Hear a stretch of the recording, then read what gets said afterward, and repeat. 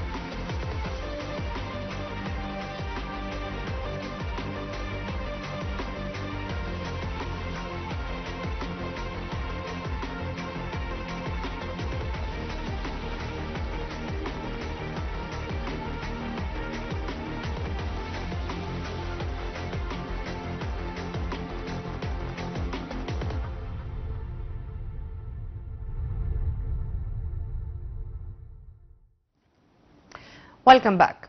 Of course, money is very important. Finance is very important.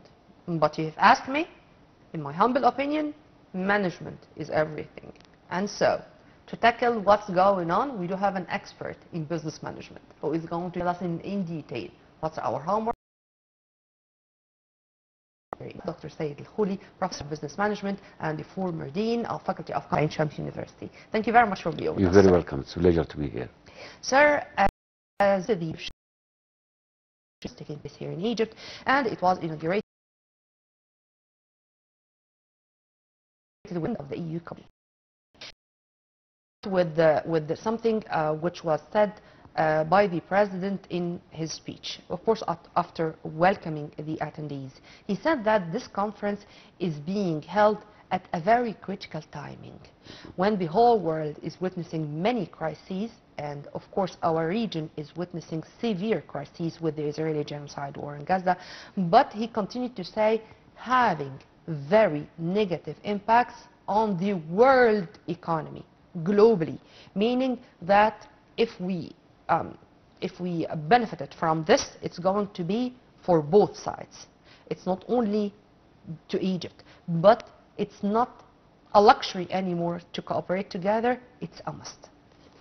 Uh, it's a good time for Egypt. Uh, first of all, if you recall, last year we hosted the biggest uh, conference in climate change, hosting the uh, SG partners.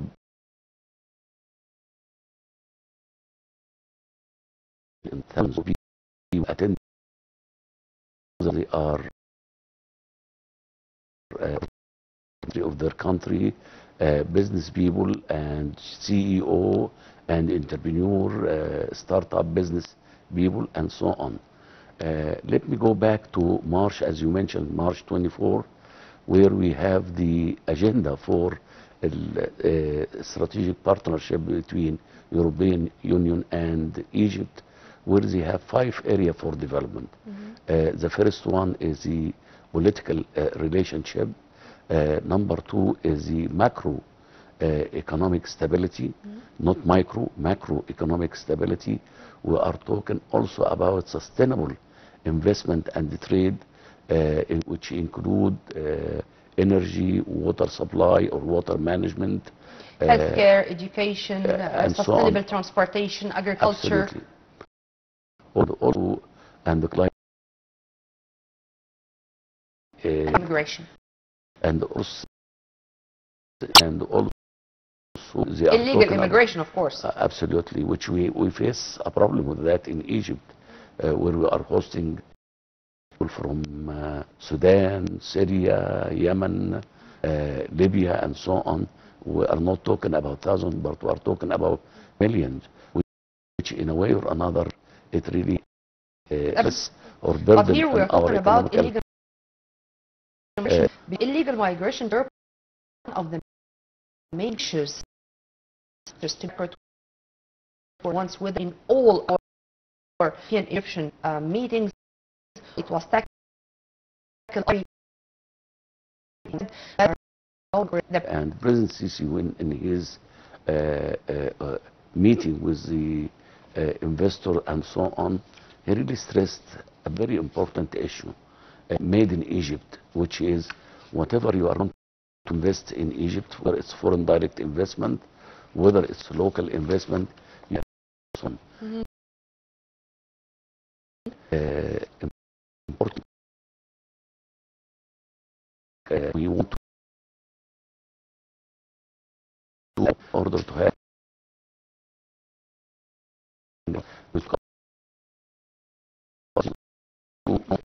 the first step 2027 where we have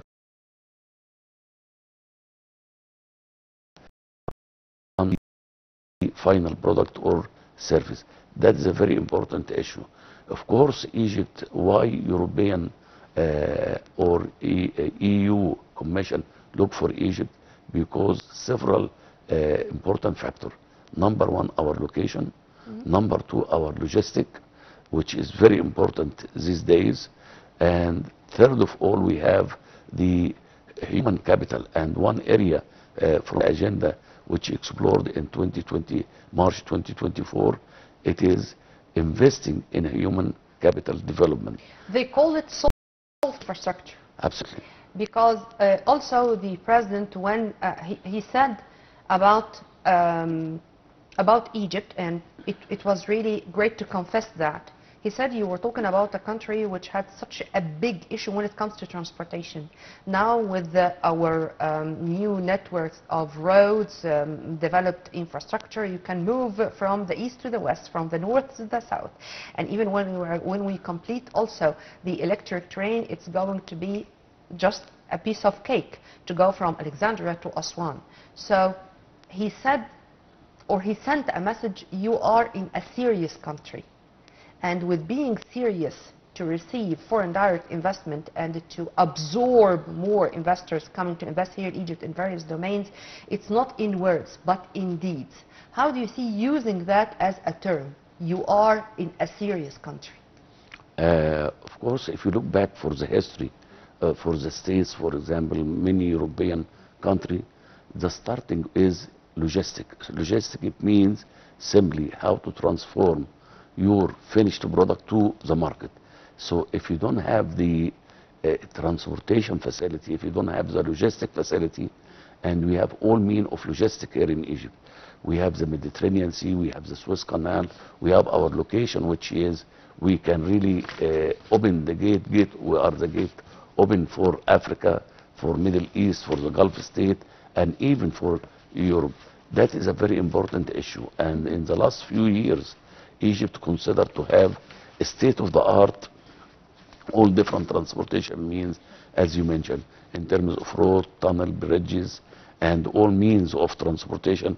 Now it's available in Egypt. Uh, remember, transportation cost is considered to be a very important cost right now. Why? Because the war between Russia and Ukraine really disabled the supply chain uh, network, uh, disabled the transportation and so on. And also with the uh, uh, problem we have right now with Houthi and Israel now, uh, it is really delay the shipment when they go for another road and so on, and it costs them triple what they used to uh, transport when you go through Suez Canal. So Egypt, they have all different factors to attract foreign direct investment. We have security, we have the labor force, we have the location, we have all logistic mean. What we really need is European technology in order to invest.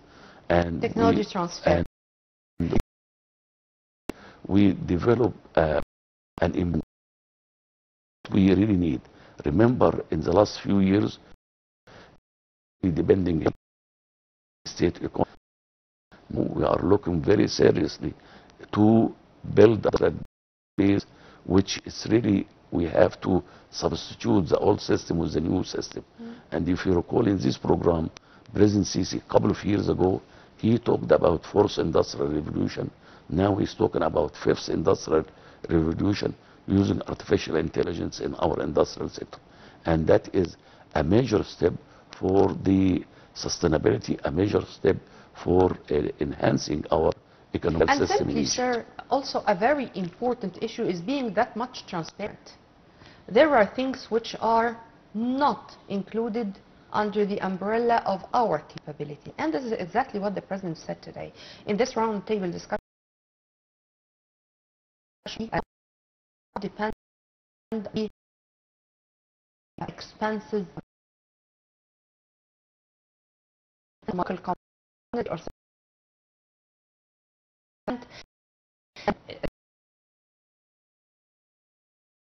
token important benefit from my solar energy without having here an industry for solar panels. How i can benefit from the wind energy without having the towers of generating the wind uh, um, energy. yeah. to take this into consideration and to say that that frank i cannot uh, tolerate depending on the high dollar expenses how do you see this as being said like that in the presence of uh, Ursula von der Leyen herself and her accompanying delegation? Uh, of course, uh, President Sisi, which I really admire him very much, uh, when it comes to the, uh, he's really keen about building industrial base. Uh, instead of uh, really uh, uh, uh, uh, uh, exporting raw material, now he is looking for value added. And when what we mean by value added, you have to really uh, locally uh, produce our your element. As you mentioned, we are talking about solar energy, so we have to really manufacture on solar panel. And solar panel, it needs a technology, our own solar panel. And when it comes to solar energy, Egypt have the biggest station in Africa and in the Middle East right now in many different areas. Of course, Egypt also invested uh, heavily a couple of years ago with the uh, green hydrogen, for example, and so on. So Egypt is moving in the right direction, but remember again, I want to make it clear, industry it is a cycle. Time for industry it takes three to five years. Believe started for, for three, four years ago, and the final product that will come in the very near future, and it hired a lot, million of people working in this different industry now in Egypt. You know, uh, she. Um, those who can shoulder the responsibility of uh, all these projects that we are planning for and the, um, the memoranda of understanding which were signed in various domains. If you permit me, sir, um, I'd like to focus a little bit more on the memoranda of understanding and the meetings which took place on the sidelines of this conference because sometimes it's important or even more. Absolutely. For example, um, Prime Minister Dr. Mustafa Madbouli witnessed the signing of a memoranda of understanding for the production of in Damietta company and a company from Norway. Another thing, um, the uh, the um, Minister of Health, Dr. Uh, Khalid uh, Abdel Ghaffar, discussed with a Swedish company, East company, how to promote and how to boost cooperation in the health sector, also on the sidelines of this conference. How do you see, uh, for example, those signings and those meetings? Of course, that is the tradition of any conference held, for example, in China or in Europe. Uh, beside all these speeches from the officials, and they have a side talk. You call it as a round table. where they meet the CEO, uh, meet with the uh, representative from the. And of course, before this summit took place, this conference took place, a lot of meeting to determine what is our resource. What we say right now in order to really gain an opportunity from this conference and so on. And remember, uh, it is not only one or two of understanding. There is several of memor- memorandum of understanding, and that is the implementation. It is not just a paperwork memorandum of done and taking pictures. No, it's a real investment coming to Egypt, and I believe it will go uh, more than 40 uh, billion uh, euro in the future, in the next uh, five years, and that is as I mentioned before, it's a golden opportunity, and we have to be prepared uh, to it, and we have to be serious about it because it's a golden opportunity, and it will never happen again. What are the Germans famous for? Uh, a lot of things, uh, No, I mean- straightforward. yeah, Mhm. yeah. Mm. And when we, uh, uh, when we see that one of the meetings which took place on the sidelines of the conference today, it was a meeting uh, between His Excellency uh, Engineer Kamil El-Wazir, Minister of Transportation, with the CEO of one of the most important and high-profile German companies. Uh, he said that, of course, the uh, German companies are all the time characterized with the seriousness, sense of commitment, resilience, and in addition to the German technology. And when we see that the German side is hailing the Egyptian implementation of our side of the protocols or, or the deals, this means that we are, uh, we are coping with the environment and we can deal with any nationality and with all modern technologies, even if they are um, trans- transported to us. How do you see this as an example, sir? Uh, as an example, you mentioned that the, uh, you know, in Egypt, I, I wrote an article about that several years ago, uh, uh, drain versus mind gain. And if you talk about any other country around us uh, investing and attracting foreign direct investment, they hire Egyptian. So the Egyptian use, they have the talent, they have the power, and they have the energy in order to enrich our economical uh, system. I recall uh, years ago in textile industry when we expo uh, when we uh, exported some textile machinery, the German expertise they used to uh, make the machine. Ta it takes like seven days to put all the parts together in order to the machine to work. And the next day, after they left, after one week, and the Egyptian engineer and the Egyptian labor saw the process, after one week, uh, the next week, they come, the German expertise, they found the Egyptian labor, the Egyptian engineer uh, combined not only one machine, seven machines in overnight. So don't really underestimate Never. the Egyptian, Never. the Egyptian youth. Don't underestimate the Egyptian mind, the Egyptian talent. We, I, I've been uh, all over the world. I've been in the States and so on, uh, in many different countries. But our mind, we, we underestimate ourselves. We shouldn't do that. We have the talent, we have the youth, we have the uh, energy, and I really, uh, really count on our youth for the economic development in Egypt. Sir, uh, I also remember one of the examples, one of the high-profile uh, energy uh, companies of Germany. They built a power station here in Egypt and especially in Upper Egypt. And uh, they trained the Egyptian engineers to be responsible or to be able to run this power station right after that.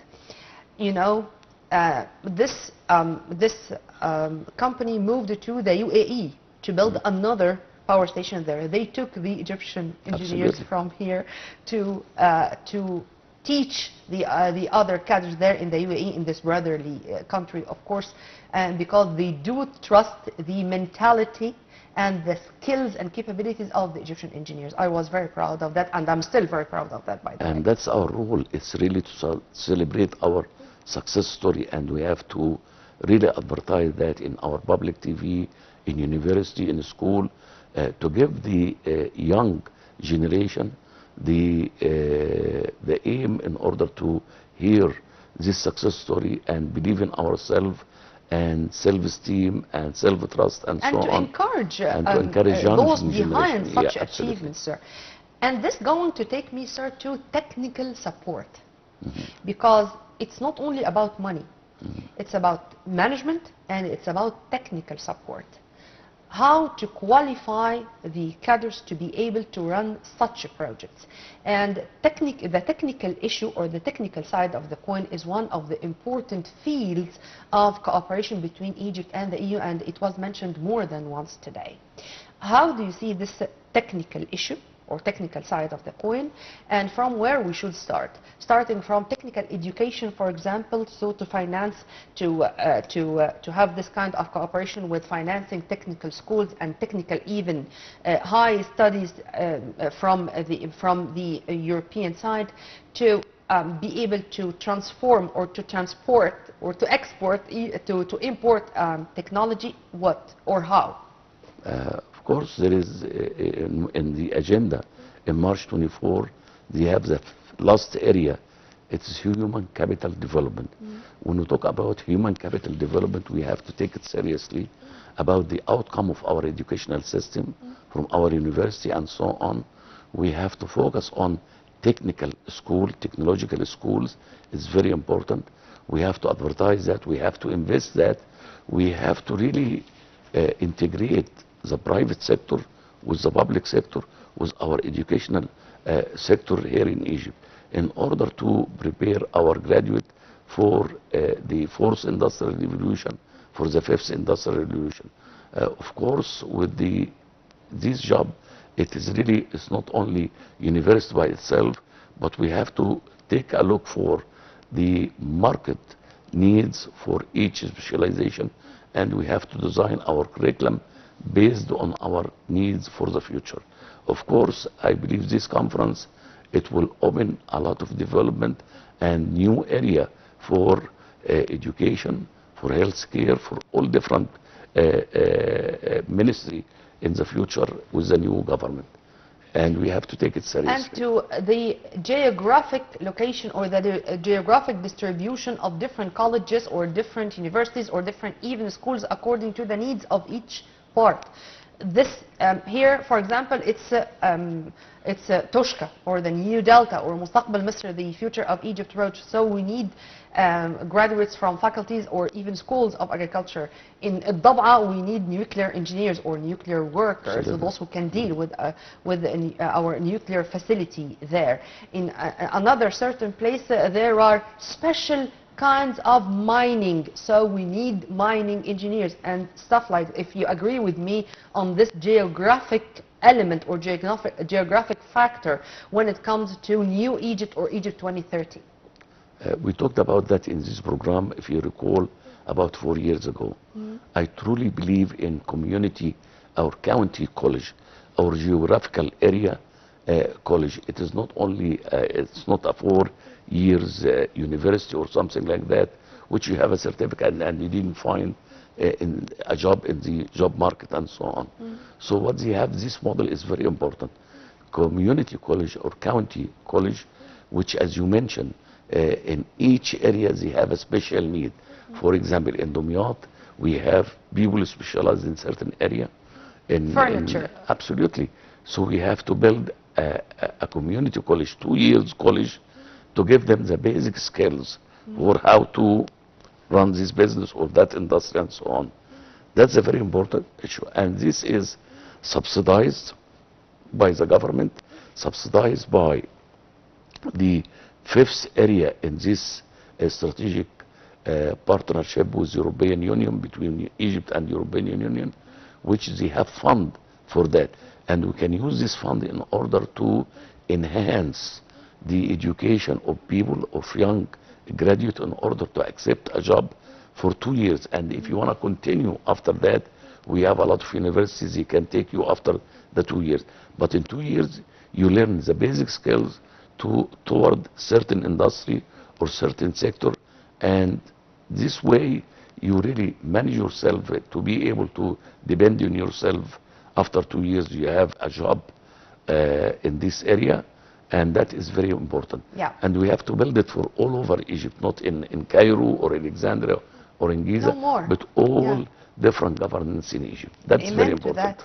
And um, I think no more centralization when we talk about even Upper Egypt now. Upper Egypt now is filled with opportunities and there are a lot of incentives um, being introduced or offered to the new entrepreneurs or startups, particularly in Upper Egypt, to make sure that they can run their facilities, run their projects without any obstacles in the way and particularly bureaucracy. No more. We do have the one-stop shop, the golden licenses, you name it. But sir, since we are talking about that, we should talk about the private sector, or to be accurate, how the uh, conference is dealing with the private sector issue, because I think in every single session they talked about the private sector and how it should have not only the line share, we should have this strategic partnership between the public and private sector, because simply no economy can depend on this or that.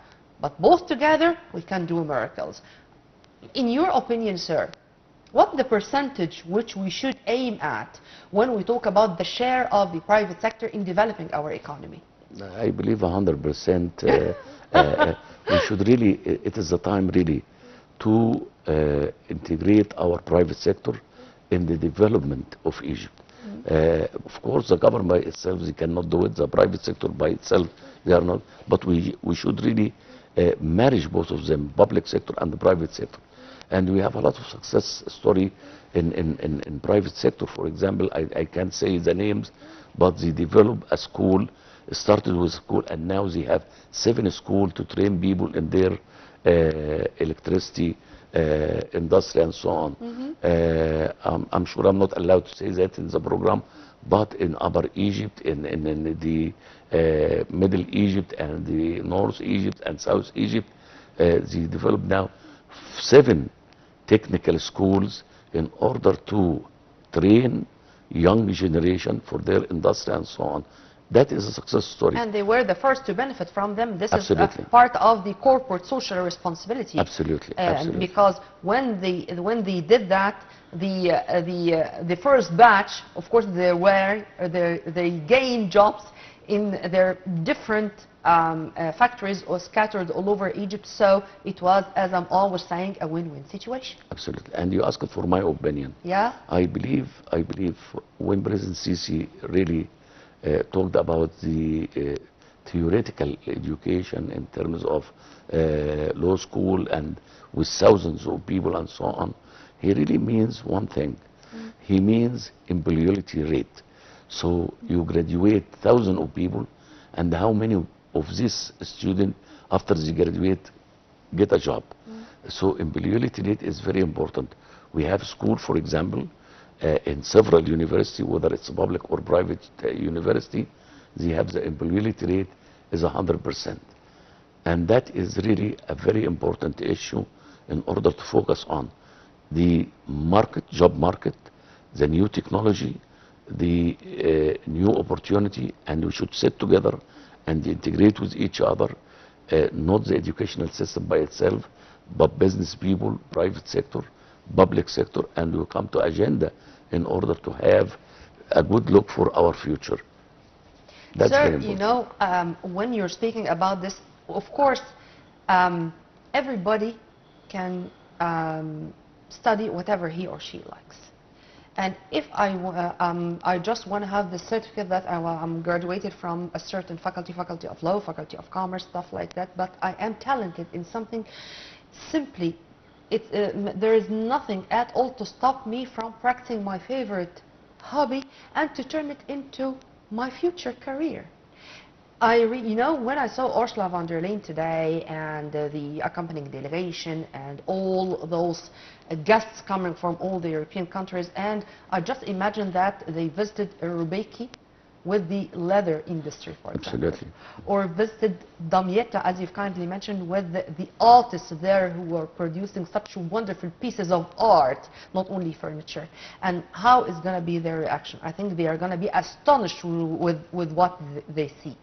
If you agree with me on this, and if you agree with me on how to appreciate our talented hands. Uh, I really uh, want to go back a couple of years ago when President Sisi uh, visited uh, Nasr City Free Zone uh, city in, in, in Nasr City. And we saw a lot of entrepreneur, a lot of, uh, uh, you know, I was very happy to see the success story with people, they have really manufacturing certain part, wire for electric car and so on.